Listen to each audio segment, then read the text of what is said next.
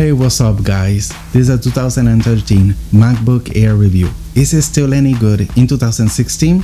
Stick around to find out.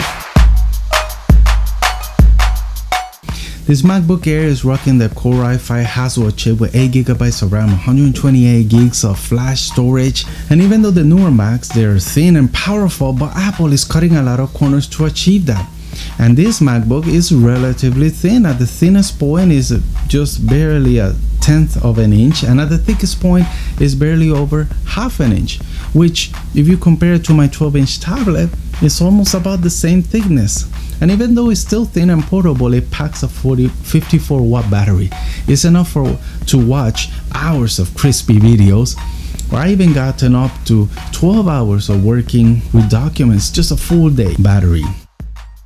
And another thing you might miss in the newer Macs is the good old chiclet keyboard. Yes, this keyboard has a lot of travel, so it's excellent for typing.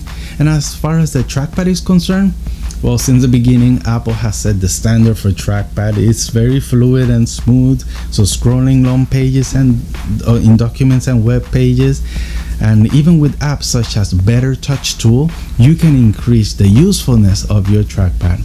Another area you might miss out on with the newer Macs are the lack of ports. Here, we have a bunch of ways to connect external drives either via the fast Thunderbolt port or the USB 3.0 which actually still being used in most PCs today and also the SD card slot which effectively you can double your storage space. I'm rocking the 128GB Transcend JetDrive Lite and it's fast enough for casual use. And also it's thin but it won't get in the way so I've forgotten the drive is even there. Lastly, I can't even imagine how many Macs were saved by the magnetic power connectors in the older Macs, which now is being replaced with the USB-C, which is not as easy to connect or disconnect. Now here's where we can see the age in the in this MacBook. The screen is no ultra high definition screen, only a 1440 by 900 at a 4:3 ratio is good enough for working with documents, but if you keep your distance, you can't even see the pixels anyway. So for me, it's good enough. But the webcam is another story. And this 720p camera is not bad at all. It's pretty good actually. So even though it's portable as my 12 inch tablet, it's a lot more powerful, easier to do some serious work. Even the video you're watching right now was edited right here with DaVinci Resolve 12.5 beta version. So in my honest opinion, even though this is an older MacBook, it still performs well enough to keep up with the demands in 2016.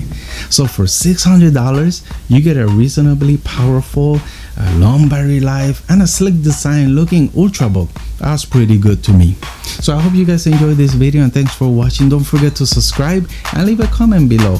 Uh, what devices have you used that are that are older but are still very useful today?